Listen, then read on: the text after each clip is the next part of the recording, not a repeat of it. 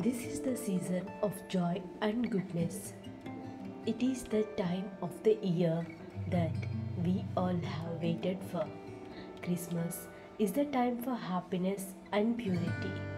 It is the time where we spend with our loved ones and look forward to the bright new year.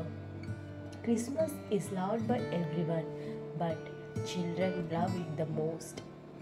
Do you know the reason behind it? Of course, the presents. Children get their favorite toys and other gifts on the day of Christmas. In this video, we are going to look at the best Christmas photo ideas for baby girls.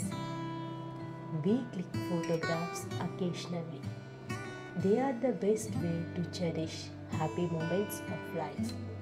They also make a good option if you are looking for gifting ideas. If you have a little angel at your home and if you want to try something super cute, then you have come to the right place.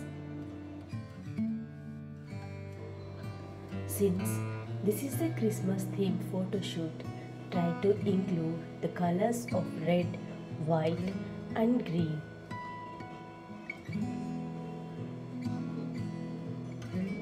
The most important thing you want to remember is to keep the child comfortable and in their own vibe.